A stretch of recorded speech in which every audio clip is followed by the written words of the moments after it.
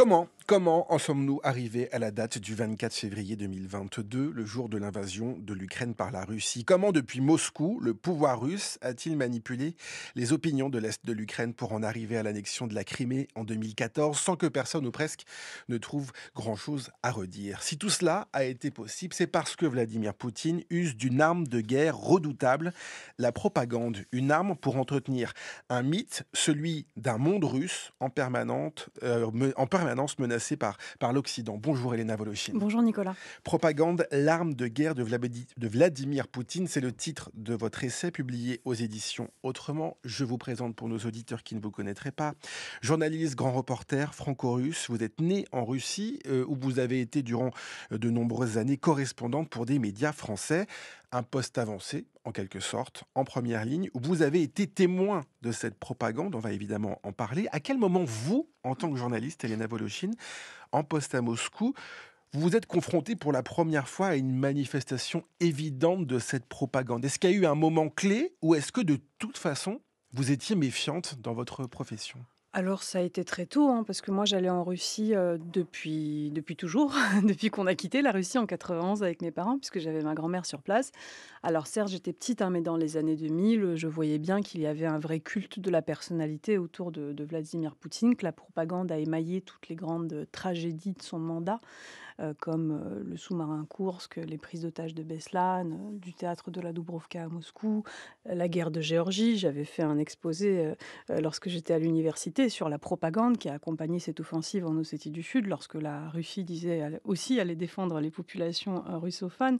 la propagande au moment de son retour au pouvoir en 2012, lorsqu'il y avait ces gigantesques manifestations contre la passation de pouvoir avec Dmitri Medvedev qui avait été orchestrée à l'avance, et lorsque les chaînes de télévision russes disait que, euh, en fait, ne les montrait pas d'abord, et puis euh, filmait des migrants qui racontaient qu'ils avaient été payés pour aller manifester, etc. Donc, ce que je veux dire par là, c'est que la propagande a toujours été là. Alors, par contre, là où j'ai vraiment été confrontée personnellement et où cela m'a frappé au plus haut point, c'est lorsque, après avoir couvert la révolution pro-européenne de Maïdan et avoir vu cet immense mouvement euh, de désobéissance civile vis-à-vis du, du, régime pro-russe de Viktor Yanukovych, euh, qui avait failli à sa promesse d'intégration européenne sur laquelle il avait été élu à sa population, en descendant à ce moment-là en Crimée parce qu'on avait les premiers mouvements de troupes euh, russes en train de se déployer, là, j'ai vraiment assisté en tant que journaliste au déploiement d'une réalité parallèle à grande échelle euh, parce que la Russie disait que euh, la propagande russe d'abord était active depuis le 21 novembre 2013, euh, depuis le début de la révolution de Maïdan. Elle n'a jamais montré ce qu'était ce mouvement démocratique. Elle brodait déjà le mythe d'un coup d'État nazi. et alimentées par cette propagande, les populations en Crimée et dans le sud et l'est de l'Ukraine étaient déjà en train de se soulever contre cet ennemi en disant les fascistes vont venir nous massacrer, on doit défendre notre péninsule pour ce qui est de la Crimée. Et donc nous, en descendant à Sébastopol, en Crimée, euh, ville euh, historique par ailleurs, hein, qui a résisté à un siège de l'Allemagne nazie pendant la Seconde Guerre mondiale, on voit ce déploiement, on voit euh, les mercenaires russes, les organisations paramilitaires prendre contrôle des bâtiments officiels, on voit la population qui se soulève avec des rubans orangés noirs et des, drapeaux russes pour dire on veut que Vladimir Poutine nous défendent des fascistes, les fascistes, on les voit pas venir en fait. Et nous, on est pointés comme étant les propagandistes dans le même temps. On est même vraiment agressés verbalement par les habitants locaux qui disent les Occidentaux, vous mentez sur le rôle des Russes, les Russes ne sont pas là, euh, on est comme nos grands-parents à vouloir défendre notre terre des nazis. Et ça, pour un journaliste, c'est extrêmement impressionnant, c'est extrêmement frappant, surtout qu'on n'a pas les clés de lecture en temps réel pour comprendre ce qu'est en train de faire la Russie. Vladimir Poutine admet que ses soldats sont à la manœuvre, je le rappelle, un mois après avoir signé le décret d'annexion. Et ce qui est très intéressant dans ce que vous, vous racontez, c'est qu'on imagine la propagande euh, comme étant un, outil informationnel de communication. Euh, l'exemple type, et on, on en reparlera, j'en suis certain, c'est la télévision d'État euh, russe et ce qu'elle montre de, de, la réalité. Là, on est sur quelque chose de, très différent que vous venez de décrire, car c'est cette réalité parallèle dont, dont vous parlez. C'est-à-dire qu'il y a des acteurs autour de vous dont vous ne connaissez pas véritablement l'identité, mais qui vont jouer ce rôle de convaincre les populations sans qu'elles s'en rendent compte d'ailleurs, et, c'est ça qui est, presque stupéfiant. Qui sont d'ailleurs ces, acteurs face auxquels, en tant que journaliste, vous vous, retrouvez? Alors, hem, ils sont multiples. Heu, la propagation par dé la propagande, pardon, par définition, c'est une réalité parallèle qui se propage. C'est-à-dire que les récepteurs de cette propagande, ils deviennent les vecteurs. Et là, vous êtes vraiment la Russie est fa a toujours été fan de reconstitution historique. Bah, là, vous êtes quelque chose qui est en train de se reconstituer grandeur nature. Alors les acteurs, ils sont vraiment multiples. Il y a par exemple, heu, ce que la Russie appelle les acte les acteurs sociétaux, общественные деятели. Heu, ce sont des gens qui, soi-disant, agissent au nom d'associations, d'organisations, etc. En réalité, ce sont vraiment des structures para-étatiques qui sont financées par le pouvoir. On l'a vu ensuite avec les fuites d'emails, par exemple, de Vladislav Surkov, le monsieur euh, Ukraine de Vladimir Poutine. Euh, comment tout cela a été vraiment organisé, financé, euh, contrôlé, avec des réunions qui ont eu lieu bah, bien avant que, que, tout cela ne se mette en place.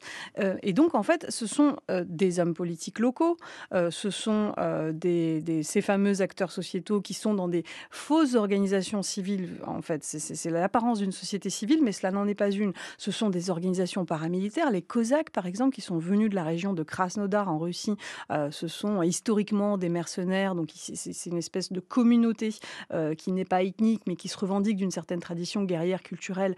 Ils ont été largement mis à contribution euh, pour réaliser ce scénario d'invasion. Vous avez, je ne sais pas moi, les Titouchki, qui sont les, petites frappes de Victor- du régime de Viktor Yanukovych, qui étaient très actifs sur Maïdan pour provoquer euh, des troubles et des, violences, et qui sont ensuite descendus en, Crimée pour de la même façon euh, réaliser euh, voilà, des opérations de, de- de- des, provocations, des bagarres, etc. Enfin, vraiment, il y a les médias, évidemment, les médias locaux. Il y a des gens qui sont déjà locaux. Il y a des, des, Russes qui arrivent de Russie. Les locaux sont en façade des Russes. Ça, il faut vraiment le comprendre. C'est qu'il pendant très longtemps, et pendant d'ailleurs, pour ce qui est du Donbass, pendant les huit années de guerre, les Russes ont œuvré en coulisses. Ils ne sont jamais venus sur le devant de la scène. Et les locaux, en revanche, étaient exactement là où les Russes voulaient qu'ils soient, c'est-à-dire en façade de l'invasion. Et c'est tout le temps cela euh, dont on parlait. Il y a deux exemples euh, très intéressants que vous racontez évidemment dans, votre, dans votre livre Propagande, euh, l'arme de guerre de Vladimir Poutine. C'est notamment les créations de ces républiques populaires de Lugansk et de Donetsk. On est donc dans le sud-est de, de l'Ukraine à ce moment-là. Euh, ce qui est euh, presque euh, sidérant, même, c'est qu'on a du mal à, à comprendre depuis ici l'Occident comment est-ce que c'est presque possible les personnes qui vont créer ces deux républiques et qui vont être à la tête de ces républiques sont envoyées par Moscou et vont manipuler absolument tout le monde. Oui, alors après, c'est des scénarios, ça paraît, incroyable, mais c'est des scénarios qui ont déjà eu lieu en Moldavie avec la Transnistrie, en Géorgie, avec l'Abkhazie, dès le début des années 90, dès la chute de l'Union soviétique. Donc ce n'est absolument pas nouveau. Ce sont des méthodes qui sont très connues, hein, et mises en place par le FSB, et par le GRU. Et d'ailleurs, les agents qui étaient actifs en Transnistrie, sont ceux qui ensuite ont mis en place, la République, populaire de Donetsk et la République populaire de Lougansk, par exemple un certain euh, Alexandre Borodai, euh, qui m'a longuement parlé d'ailleurs pour ce livre, qui était le premier Premier ministre euh, de la République populaire autoproclamée de Donetsk, qui m'a raconté très en détail comment Igor Strelkov, lui-même, un certain nombre de personnalités, après avoir accompli leur mission en Crimée, sont remontés l'un à Slaviansk, l'autre à Donetsk, pour, bah, pour mettre en place tout simplement cette fameuse République populaire, avec toujours l'apparence d'un d'un soulèvement, d'une insurrection de pro-russes qui était réellement, hein, par ailleurs, on l'a dit, en train de se soulever, euh, mais euh, comment il avait distribué les postes, euh, quasiment les jouant au loto, euh, euh, comment il avait euh, inventé des institutions de toutes pièces, euh, et, ça, ça le fait beaucoup rire, hein, parce que vraiment, il dit, moi j'ai trouvé ça super intéressant, euh, c'est de l'inventivité, c'est de la créativité. Il, est ce qu'on appelle hein, une sorte de polytechnologue, en fait. C'est quelqu'un qui, réalise euh, des scénarios institutionnels, de- de création institutionnelle, et officiellement, euh, il a une agence de consulting à Moscou. Euh, mais euh, il travaille avec le FSB, il travaille avec les renseignements militaires. Tout, tout cela, ce sont des gens qui, travaillent de concert. Mais effectivement, leur, activité reste absolument dans l'ombre. Et quant à Igor Strelkov, par exemple, chef de guerre, qui a mis en place vraiment un régime de terreur stalinienne hein, à Slaviansk, il, a mis en place des, tribunaux extrajudiciaires, il il a fait exécuter des gens. Il y a des, frictions entre ces personnalités. Enfin, c'est tout un scénario, en fait, c'est tout c'est que c'est digne d'un film de mafia. Quoi. Euh, L'idée, alors on va rentrer dans le détail aussi de comment est-ce que vous, en tant que journaliste, vous réagissez face à, ce que, à cette réalité euh, euh, parallèle, mais qu'est-ce que c'est que ce monde russe, euh, ce mythe du monde russe, qui est en fait quoi le, but ultime de, Vladimir Poutine, montrer que ce monde russe est en permanence menacé par, l'Occident euh, et de défendre quoi un territoire qui n'existe plus d'ailleurs aujourd'hui? Alors, il y a plusieurs choses dans, le mythe du monde russe. Il y a d'abord la Rousse de Kiev, hein, 988. Le prince Vladimir christianise la Rousse de Kiev, baptise les orthodoxes dans les eaux du Dniepr. Et donc, Vladimir Poutine dit que, eh bien, aujourd'hui, et d'ailleurs, ça se passe à Sébastopol, en Crimée, le site de l'antique Chersonès, où ils sont en train de reconstituer un espèce d'immense complexe historico-culturel à la gloire de cette civilisation millénaire comme la, comme la présente Vladimir Poutine. Donc, ça, c'est vraiment le noyau entre les grands Russes, les petits Russes, les Biélorusses. Donc, russe, ukrainien et biélorusse, qu'il veut reconstituer, réunifier. Il parle de l'empire triuniate. Ça, c'est le premier empire. Euh, là, on en est environ au cinquième, donc je vais passer sur les quatre autres. Mais euh, l'idée du, mythe de cette fameuse civilisation millénaire et de ce monde russe, euh, je dirais qu'il remonte au 19 surtout beaucoup au 19e siècle avec les panslavistes qui pensaient justement que cette fameuse civilisation slave devait émerger de son noyau ethnographique pour se transformer en civilisation euh, héritée de la gréco-byzantine face à la civilisation romano-germanique qui est entrée dans sa phase de déclin et qui, en plus, a une velléité de destruction de la seconde. Donc c'est complètement euh, farfelu, c'est complètement dingo, euh, mais il faut vraiment comprendre que dans l'idéologie russe actuelle, quand Vladimir Poutine parle de déclin de l'humanité euh, par rapport à nos civilisations où les homosexuels risqueraient, euh, dans l'incapacité de se reproduire, de vraiment de faire mourir l'être humain, c'est vraiment cette propagande-là dans laquelle on est euh, en Russie actuellement. Hein. On rappelle que la Russie a quand même interdit la propagande dite LGBT dès 2012. là, ils sont en train d'interdire, hier, hier a été voté en première lecture la loi qui interdit la propagande du, du, fait de ne pas avoir d'enfants. donc on est vraiment euh, dans, dans, un mythe civilisationnel et finalement euh, de dire aussi que euh, les Ukrainiens sont des Russes, les Biélorusses sont des Russes et qu'en fait tout ça, ce sont des Russes.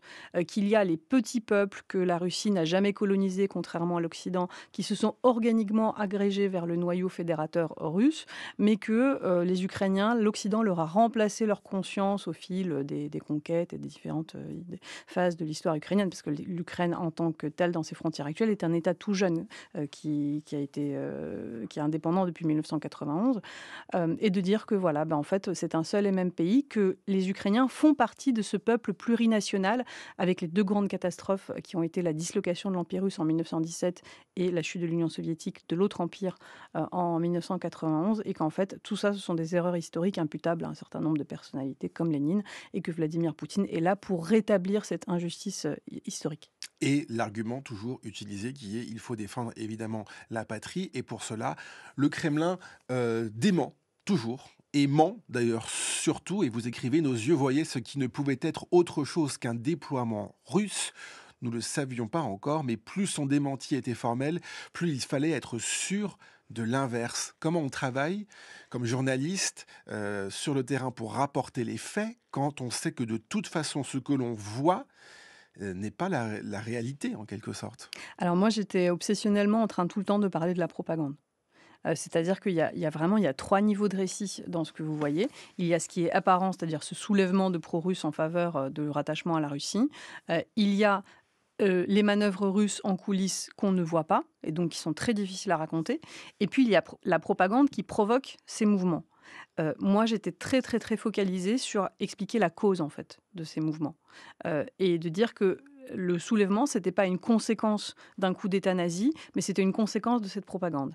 Et le problème, c'est beaucoup été, euh, dans la couverture de, ces événements-là, la rupture entre la cause et la conséquence. Euh, c'est-à-dire que beaucoup, malheureusement, de médias, et, je ne leur en jette pas la pierre, parce que ce n'est pas, pas évident d'identifier à quel point euh, ceci est dangereux et, important, mais beaucoup de médias restaient quand même beaucoup focalisés sur cette velléité des, pro-russes d'être rattachés à la Russie, parce que on disait voilà, c'est leur espace culturel, c'est leur histoire, c'est leur conscience, ils ont combattu les nazis. C'est une façon de, comprendre et d'expliquer bah, il fallait, il fallait absolument cette vérité-là, en Mais il fallait absolument le comprendre et l'expliquer, parce que par exemple, si jamais il n'y avait pas eu de mensonge autour de cette histoire-là et qu'on n'était pas en train d'instrumentaliser les populations, je l'explique dans mon livre, par une méthode du contrôle réflexif qui est de donner une fausse donnée à quelqu'un pour le pousser à agir de la façon dont vous voulez qu'ils agissent. Euh, si jamais euh, vous, vous n'expliquez pas cela, alors c'est un phénomène euh, naturel et qui est justifié et donc bah, réellement ils sont menacés puisque se soulèvent. Mais si, Vladimir Poutine avait dit la vérité dès le départ, c'est-à-dire avait posé le mythe, im- euh, cet impérialisme sur la table en disant c'est notre territoire, euh, on l'estime légitimement acquis à la Russie, il n'y a absolument aucune raison pour que euh, l'Ukraine indépendante garde la Crimée alors qu'elle veut se tourner vers l'Europe, sachant que à Sébastopol il y avait aussi cette histoire de la Crimée qui a été donnée à l'Ukraine soviétique par Nikita Khrouchtchev, intégrée à l'Ukraine soviétique par Nikita Khrouchtchev en 1954 et que Sébastopol a toujours considéré qu'elle ne fait pas partie de Mm. euh, ce décret de, de transfert puisque euh, elle avait acquis le statut de ville héroïne euh, dé- dé- décerné par Staline, etc. Donc il y avait aussi un contexte, ce contexte historique-là. Mais si Vladimir Poutine disait, voilà, c'est juste parce que c'est notre terre légitime, c'est-à-dire sans la partie cynique, que j'appelle la partie cynique du mythe, c'est-à-dire ils sont menacés par les nazis, on doit les défendre. Parce que ça, c'est un mensonge. C'est un mensonge. Ils n'étaient pas absolument pas menacés. Alors je reviens aussi sur mon livre en détail sur le mythe nazi, quels étaient les éléments extrémistes sur Maïdan, etc. Pour expliquer que c'est pas parce qu'on voit une chaise rouge qu'on est dans une salle de cinéma, ça peut aussi être une salle de classe. Donc la rupture entre la prémisse et la conclusion, elle est totale. Pour ce qui est de la propagande, oui, il y a des éléments du réel, mais la, la- la conclusion n'est pas fondée. Et c'est ça qu'il fallait, à mon avis, vraiment expliquer. euh, et j'étais très concentrée sur le fait de parler de la propagande à ce moment-là, c'était crucial. Euh, Elena Voloshin, à qui s'adresse cette propagande Euh, Aux Russes, évidemment, euh, aux habitants des régions qui sont con- convoitées, mais à l'Occident aussi. Oui, parce que Vladimir Poutine veut avoir les mains libres pour mener ses guerres impérialistes et pour conquérir ses territoires. Euh, or, on est quand même dans un système euh, de solidarité internationale, on l'a vu avec l'Ukraine, où bah, on arme l'Ukraine pour se défendre de la Russie. Et Vladimir Poutine, ça, ça l'arrange pas. Donc à partir du moment où il a, je sais pas moi, un Donald Trump aux États-Unis, euh, ou des extrêmes droites en Europe qui disent que bah, on ne doit pas provoquer la Russie, et parce qu'on va armer l'Ukraine, ben, on, va, être en guerre avec la Russie, ce, qui à force, devient potentiellement vrai, et c'est là où le drame qui se produit, c'est qu'en fait, l'agresseur a toujours un temps d'avance sur nous. Euh, mais euh, Vladimir Poutine, évidemment, il veut un maximum d'alliés, euh, il veut pas être isolé sur la scène internationale, et, on et on- il ne l'est pas en réalité. C'est-à-dire qu'il y a beaucoup de pays où sa propagande, ses agents d'influence, euh, son soft power aussi, eh bien, fonctionnent, y compris par anticolonialisme. Et donc, d'abord, il n'est pas isolé sur la scène internationale. Et ensuite, évidemment, sa, sa propagande travaille au maximum à l'extérieur pour, pour tout simplement euh, avoir le plus d'alliés possible. Ce qui est stupéfiant quand on euh, lit votre livre euh, et quand on écoute ce que vous nous dites, c'est que euh, on a l'impression qu'à chaque fois c'est quasiment le, même cadre qui est appliqué, les mêmes méthodes, cette méthode donc de propagande pour arriver à ses fins. Est-ce qu'aujourd'hui, en Occident, à Paris, à Bruxelles, dans les capitales européennes, peut-être même jusqu'à Washington, on a conscience qu'on qu'on ne peut pas croire ce que dit Vladimir Poutine, euh, qu'on ne lui fait plus confiance, euh, et que de ce fait-là, euh, on ne peut pas traiter ce qu'il dit euh, avec le, même comment dire la même importance que ce que disent d'autres. Il est assez étonnant de voir le Kremlin aujourd'hui prendre des positions contre ce qui se passe au Proche-Orient quand on sait que lui-même mène une guerre et bombarde des civils en Ukraine. Alors, dans le cas du Proche-Orient, je pense que la Russie n'est plus vraiment, euh, pour le moment en tout cas, euh, un souci pour les capitales occidentales. On essaye déjà de, comprendre ce qu'on fait avec ça. Euh, et on voit toute- la difficulté aussi des récits aut- autour de cette guerre. Je pense qu'il y a évidemment la confiance en Vladimir Pouti- Poutine. Elle n'est plus là depuis le 24 février 2022. Et c'est bien dommage d'ailleurs que ça ait pris autant de temps, puisque ça, dure depuis très longtemps. Et depuis 2014, Vladimir Poutine envahit l'Ukraine en disant qu'il ne le fait pas. Euh, donc, euh, et malgré cela, on a quand même continué à, le considérer en partenaire euh, viable, notamment au niveau de l'Allemagne qui a construit quand même un gazoduc. Il n'y a plus de confiance depuis le 24 février 2022. Je pense qu'il y a une vraie prise de conscience au niveau des, services de renseignement aussi, notamment français, qui ont désormais décidé de communiquer euh, sur les actions hybrides de la Russie. Ce n'était pas le cas avant. On voit que la Russie mène des actions de plus en plus agressives. Euh, les renseignements britanniques ont récemment communiqué sur le sujet. Donc non, je pense qu'aujourd'hui, Vladimir Poutine n'est plus, euh, n'est plus considéré comme quelqu'un de, probant et de, digne de confiance. Après, le problème, c'est que réellement, personne jusqu'à présent ne sait exactement quoi faire avec ça. Elena Voloshin, vous restez avec nous. On va continuer de discuter, bien sûr, de, ce sujet. Et on va s'intéresser plus particulièrement à la, société russe. On parlera, bien sûr, des médias d'État. Euh, je l'ai dit euh, tout à l'heure. Vous nous parlerez de, ces propagandistes. C'est pas facile à dire. Euh, notamment de, cette, télévision. Et puis, on essaiera évidemment de comprendre aussi ce qui a changé, peut-être, dans la société russe depuis le déclenchement de la guerre. On sera rejoint tout à l'heure à 8h20 par la sociologue Anna Lebedev. Restez avec nous sur France Culture. Nous poursuivons notre discussion avec la journaliste, grand reporter franco-russe Elena Voloshin.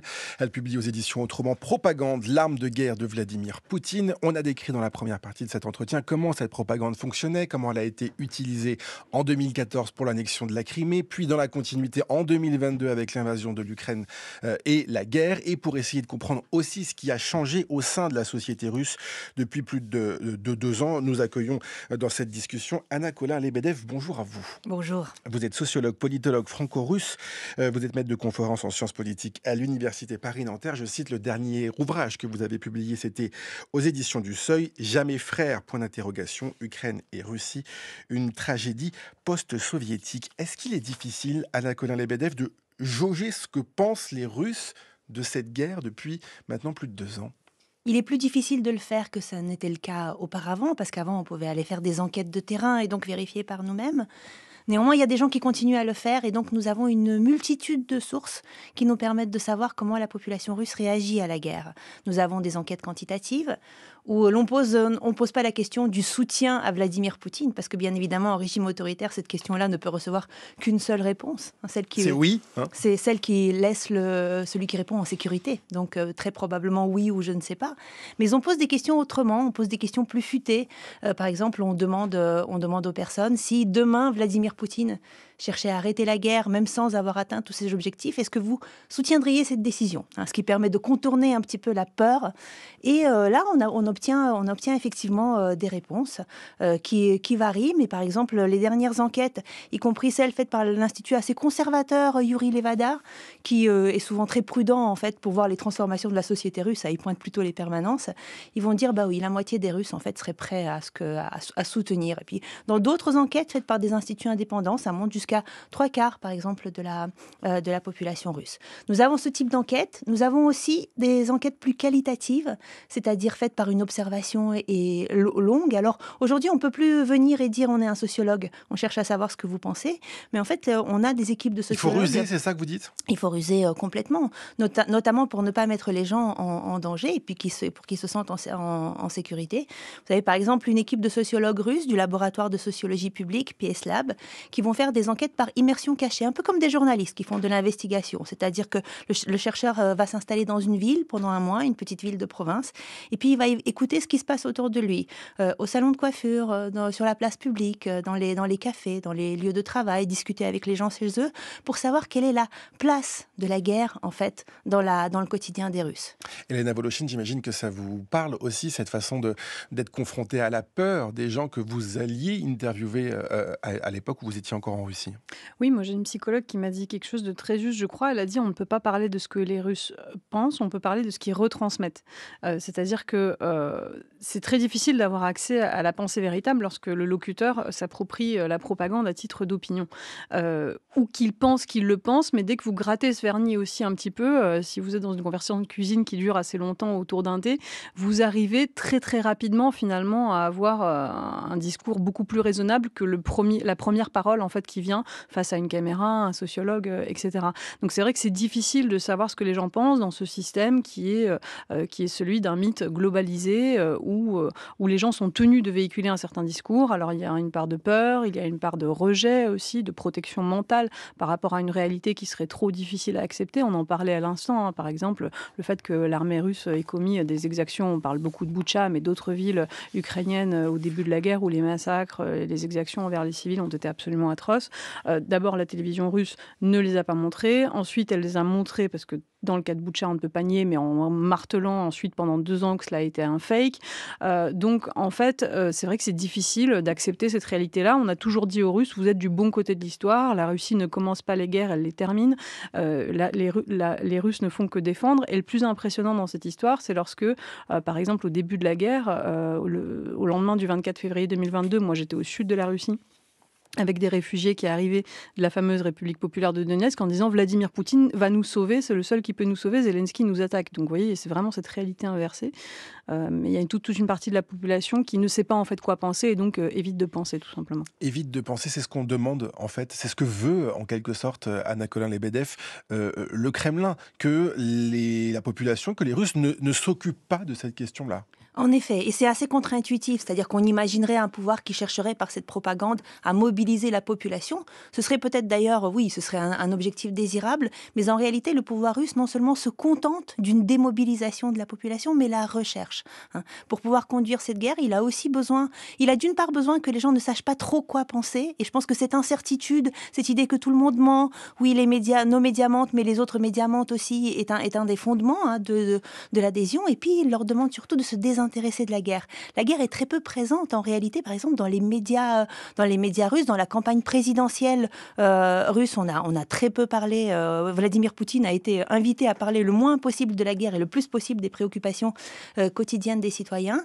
Et, donc, et, je dirais à cela, voilà, le, le, pouvoir réussit, réussit assez bien. Aujourd'hui, les Russes sont engagés au quotidien dans un travail actif psychique pour essayer de ne pas remarquer la guerre autour d'eux. Et là, je, suis, je rejoins Elena, on, a, on aurait vraiment besoin, moi, nous en tant que sociologue, de soutien de, de psychiatres qui travaillent notamment sur les mécanismes de déni et de déni face à des choses euh, qui sont très difficiles à accepter. Il n'y a pas de récit de ce qui se passe en Ukraine, en Russie. On ne, sait pas ce qui s'y passe et il n'y a pas de témoin même qui revient de, ce front-là. Si on, est du côté russe et qu'on considère qu'il y a effectivement un, combat, est-ce que on, voit par exemple, je ne sais pas moi, des, combattants qui, euh, témoignent, euh, des mères euh, pendant très longtemps se sont mobilisés en disant nos fils sont en train de mourir sur, ce front-là contre nos frères. Aujourd'hui, tout cela n'existe plus? Alors cela existe, mais euh, on, a, très peu en réalité de retour du front dans la mesure où les combattants qui ont été mobilisés ou qui ont, signé un contrat sont toujours sur le front. Leur, contrat est, sans, à durée euh, indéterminée. Les seuls qui sont rentrés très paradoxalement, ce sont ces euh, condamnés prisonniers des colonies pénitentiaires qui ont été engagés par Yevgeny Prigogine et qui eux avaient un contrat de six mois. Donc les seuls que l'on voit revenir, c'est les criminels et un peu les gens en en, permission, mais je dirais, ce qui est important, c'est que cette parole qui est formulée, ce sont des gens qui racontent, qui racontent à leur famille, qui appellent leur famille, elle ne peut pas être retransmise dans l'espace public parce qu'il n'y a pas de relais. Hmm. Il n'y a pas de relais pour faire de cette situation individuelle, de ce témoignage individuel, en fait, un problème public. Euh, à l'époque des guerres en Tchétchénie, les mères de soldats avaient pu faire ça. Ils recevaient un témoignage, ils contactaient les médias, les médias les entendaient, les médias retransmettaient leur message et il y avait un certain nombre d'acteurs politiques qui étaient aussi sensibles à leurs demandes. Aujourd'hui, cette amplification n'est plus possible. Elena Voloshin, sur euh, justement l'état aussi des médias en, Russie, euh, beaucoup de journalistes étrangers euh, sont aussi menacés. Il y a des procès qui concernent notamment des, journalistes américains. Il y a toujours des journalistes étrangers qui travaillent de la même manière, c'est-à-dire avec une autorisation des ministères et évidemment une forme de surveillance aussi. Mais en tout cas, pour les Russes, qu'est-ce qu'ils voient à la télévision? Quelle est, cette télévision d'État? Eh ben, ils voient d'abord, euh, ils s'informent plus uniquement via la télévision d'État, ils l'ont souvent éteinte d'ailleurs. Je crois que ça a juste euh, euh, selon un sondage qui est paru il y a quelques mois, il y avait 52% de la population qui s'informait via via la télévision et le reste via internet ou les deux d'ailleurs, c'est mélangé. Mais ce qui est important de souligner, c'est que les Russes voient en permanence, enfin il y a une militarisation extrême de la société. on ne peut pas dire que la guerre n'est pas présente parce qu'elle est, elle est quotidienne en fait. Les Russes se réveillent avec et se couchent avec sans qu'elle ne dise son nom. Euh, l'opération militaire spéciale fait la moitié des journaux télévisés russes. Ça commence toujours par l'opération militaire spéciale, les succès au front euh, de la grande armée russe, euh, le fait que l'on aide les civils en Ukraine, qu'on libère l'Ukraine des nazis. Il y a un vrai culte des héros qui est vraiment qui prend qui englobe l'espace public. Il y a des expositions dans les villes où on montre euh, les héros de l'opération militaire spéciale qui défendent aussi bien la patrie russe dans sa guerre existentielle contre l'Occident mortifère que euh, le peuple ukrainien qui en fait est un peuple russe euh, contre des nazis qui ont illégalement pris le pouvoir à Kiev poussés par leurs maîtres occidentaux. La militarisation est dans les écoles dès le plus jeune âge. on, a ouvert aussi, ça, fait des années que ça dure, des musées à la guerre dans les écoles. On envoie euh, les enfants sur, sur les champs de combat de la Seconde Guerre mondiale, en sachant que Vladimir Poutine aujourd'hui rejoue la Grande Guerre patriotique. Toute l'année, on prépare les célébrations du 9 mai.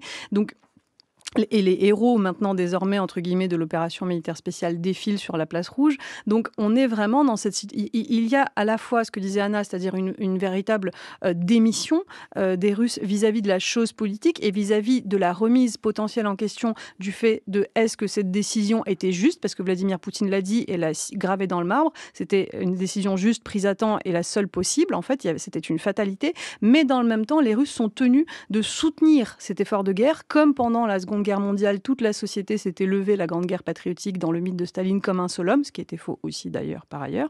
Euh, aujourd'hui, les Russes sont en train de rejouer la Grande Guerre patriotique. Le peuple entier euh, est mobilisé pour l'effort militaire. Anna Colin-Lebedev Je souhaiterais soulever un paradoxe parce que tout ce que Elena vient de décrire est parfaitement vrai. C'est-à-dire la guerre est omniprésente dans les médias, dans les messages qui sont envoyés et en même temps, les retours qui nous parviennent et notamment les retours de ces enquêtes montrent que les gens ne parlent absolument pas de la guerre entre eux et dans cet autre espace public qui est l'espace euh, du café, de la place, de la, de la, de la discussion dans, lors de la pause café au travail. Cette guerre n'est pas présente et on peut se poser la question pourquoi. Ben, j'allais vous la poser. Pourquoi est-ce qu'il n'en parle pas De peur d'être confronté à quelqu'un euh, qui, qui, voilà, si on, si on donne son avis, on, va être, on va être euh, effectivement dénoncé. Euh, l'exemple récent, c'est par exemple ce père qui vient de sortir d'un an et demi de, détention parce que sa jeune fille à l'école avait dessiné une femme tenant un drapeau ukrainien, protégeant son fils des, des, missiles russes, qui a été dénoncé par la, la directrice de l'école. Donc voilà, on est dans cette société où si on en parle, se met en danger? Alors, si on en parle de, manière critique, on se met en danger, et tout à fait, la répression arrive, mais on n'en parle même pas de manière, euh,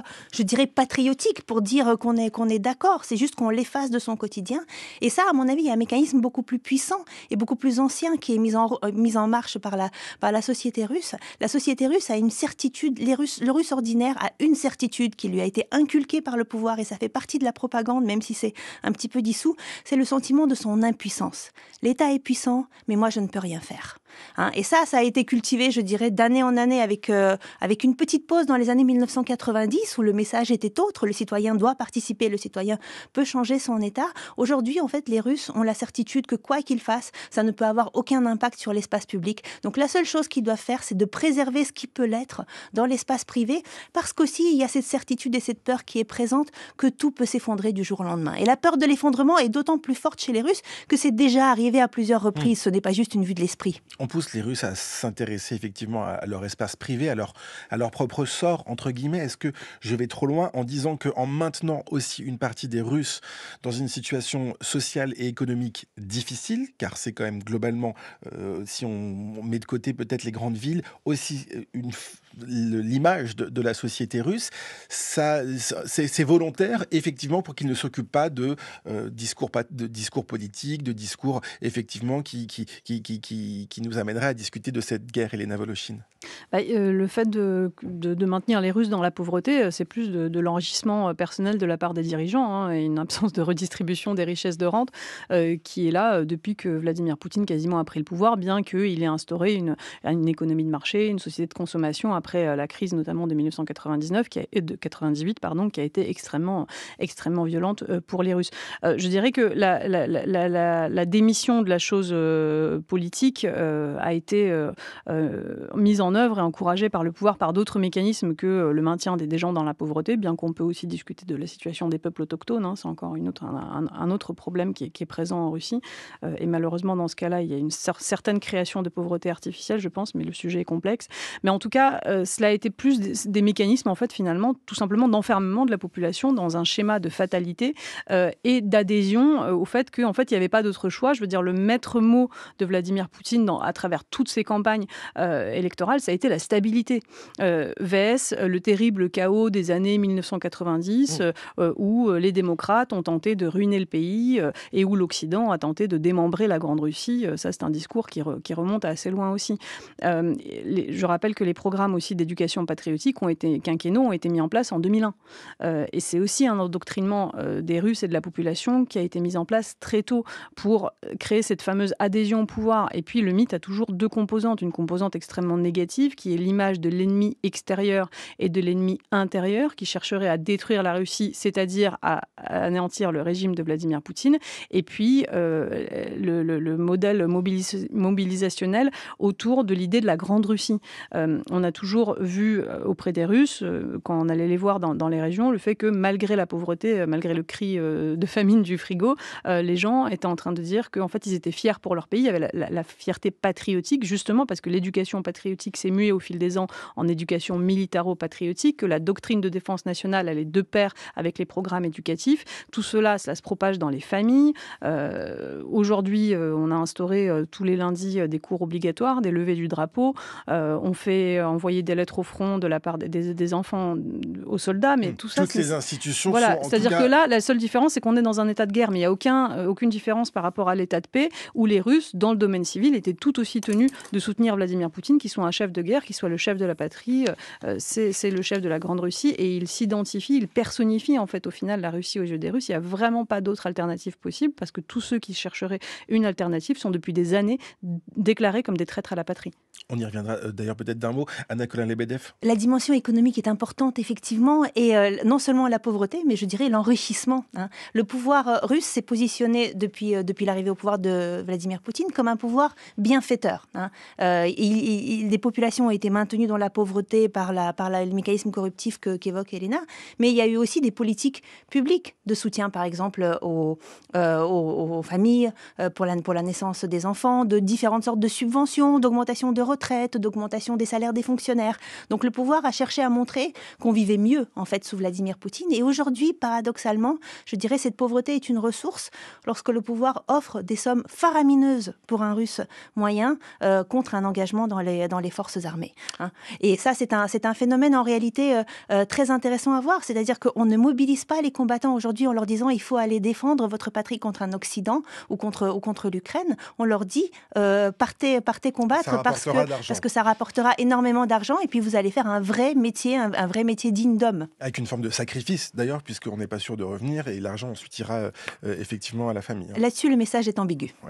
un, un, dernier mot sur, puisqu'on parle de cette passivité euh, des Russes en général, effectivement, c'est aussi très différent entre les campagnes les villes, mais il y avait une mobilisation aussi euh, institutionnelle qui a été euh, mise à mal, et je pense notamment à l'association Mémorial qui a travaillé durant de nombreuses années, qui a pâti aussi de, et qui a d'ailleurs été réduit au silence avec cette loi sur les, sur les agents de l'étranger. Là aussi, à cet endroit-là, plus personne ne peut réagir. Pour terminer, Elena puis Anna. Alors, moi, je, le démontre dans mon bouquin et j'emploie un gros mot. Il y a eu un grand remplacement de la société civile par une société para-étatique qui revêt les apparences d'une société civile. C'est-à-dire que vous avez, par exemple, l'organisation mémoriale qui a été liquidée et à la place, vous avez une organisation qui s'appelle Mémorial, qui est créée à Lugansk pour dénoncer les crimes de guerre de l'armée ukrainienne, soi-disant. donc en fait, il y a vraiment cet effort qui a été de dire qu'en fait toute la société est mobilisée derrière Vladimir Poutine, justement par cette façade d'organisation paraétatique qui, qui adhère, qui véhicule le message du pouvoir, et avec effectivement dès 2012, vous l'avez mentionné, la loi sur les agents de l'étranger, qui a été véritablement un instrument de répression, des lois mémorielles, des lois à proprement parler répressives. En fait, ça s'est s'est étalé sur dix ans, hein, ce processus de virage vers une dictature. En 30 secondes, Anna Conan-Lebedev, Les voix critiques ont du mal à, s'exprimer aujourd'hui, bien évidemment, mais cette disparition de canaux de la critique dessert aussi le pouvoir russe. Hein. On peut aussi le voir de cette manière-là,